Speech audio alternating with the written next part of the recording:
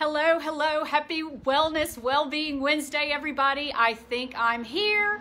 I think I actually have it with some Wi-Fi and uh, internet so that I can come to you for one of the final on-site uh, lives for you. We are shouting out from Blowing Rock, North Carolina in the Blue Ridge Mountains, one of the top luxury wellness destinations um, that I say that is in the world. And so I am just excited that I have committed to come to you live every Wednesday for about seven to 10 minutes. And I'm super excited just to come to you and share with you wellness tips answer questions and just be here for you. Be here for you however it is that you see that you might need.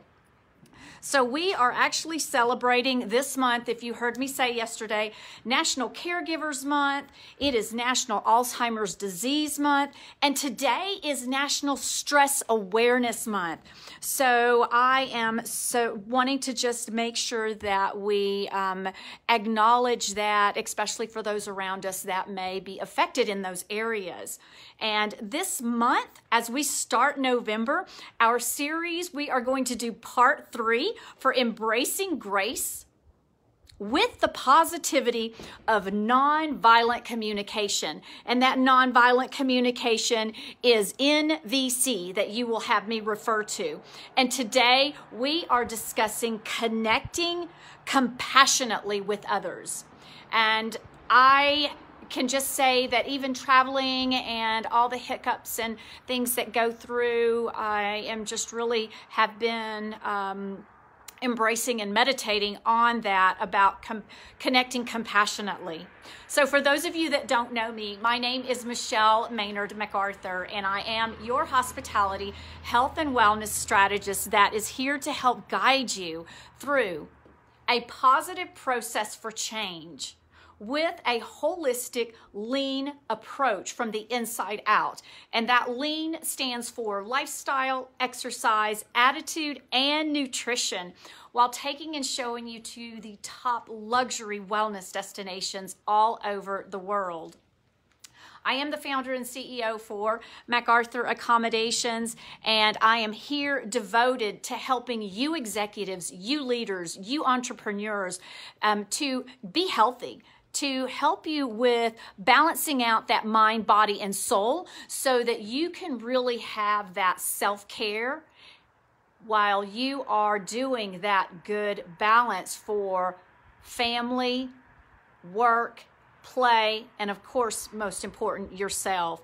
So I am really hoping that all of this does bring you great value, and I want to share with you my purpose, my passion, and my why. And that why is being a survivor, a survivor of a progressive degenerative neuromuscular disorder, along with depression for over 30 years now. I was told to get my affairs in order. And I get to stand here today in the Blue Ridge Mountains. I hope this is giving you a beautiful backdrop right here so that you can see those Blue Ridge Mountains behind me. Um, you may notice some swaying, uh, some uncomfortable pauses, too many ums, whatever that might be. I just ask for your grace that uh, know that I usually always do get back on track. I'm a little shaky today. It is cold outside, but it is beautiful, and I like nothing better than to be in nature. And this is definitely nature with some great clean mountain air. And I do this because I am an international certified health and wellness coach.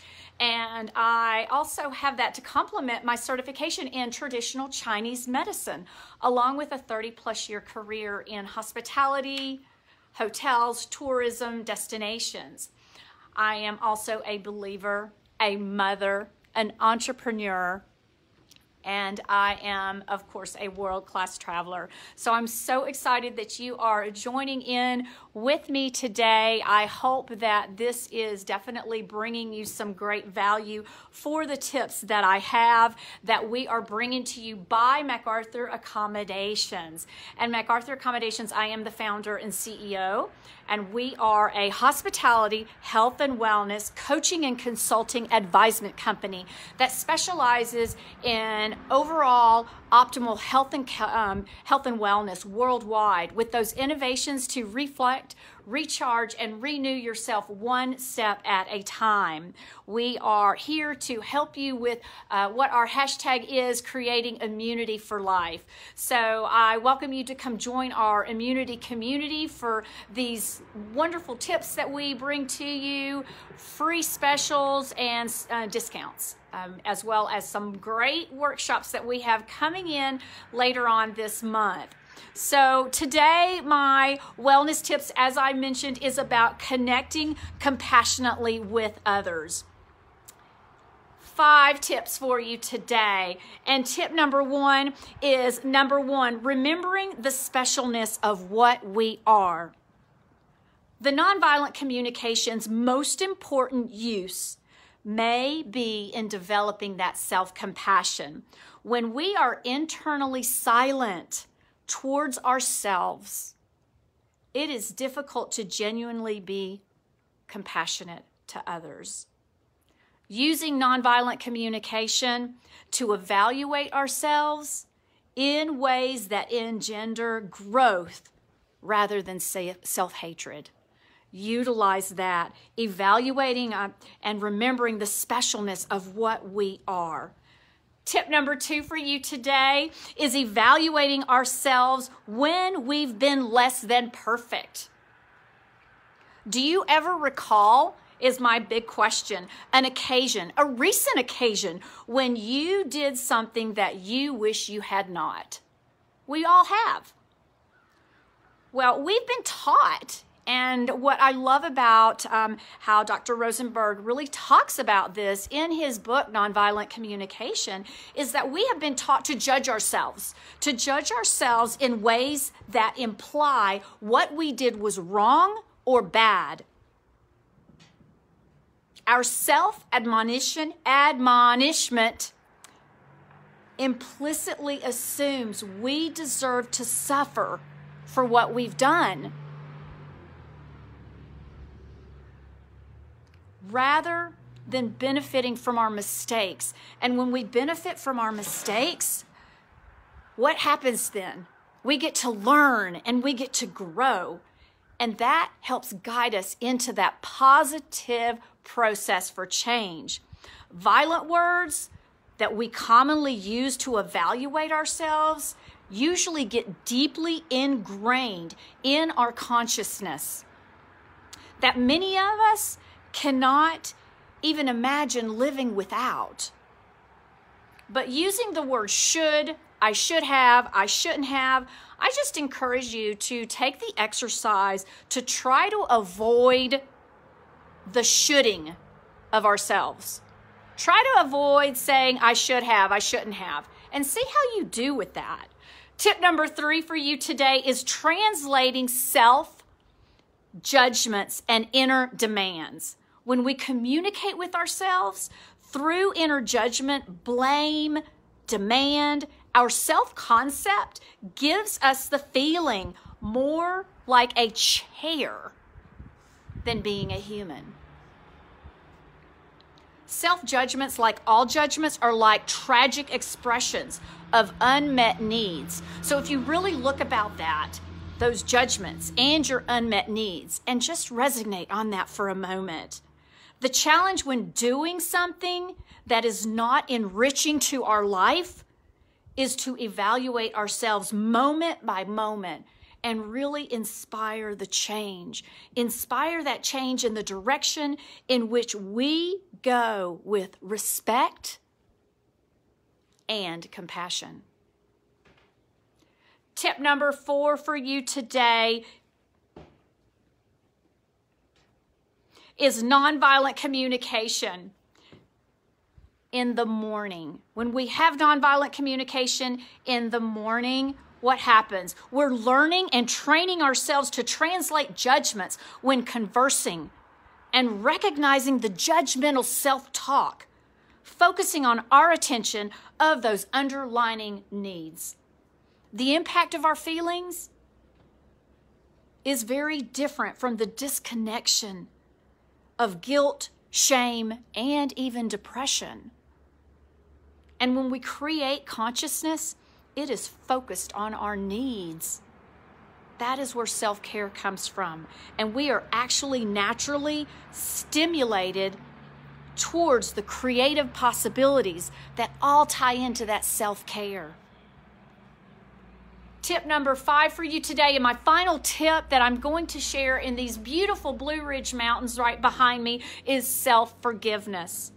Self forgiveness is following up on a process of mourning with self forgiveness and tuning, turning our attention to the part of self which we choose to act in the way that is led to a specific situation or circumstance that may have happened within that non-violent communication and connecting compassionately with others.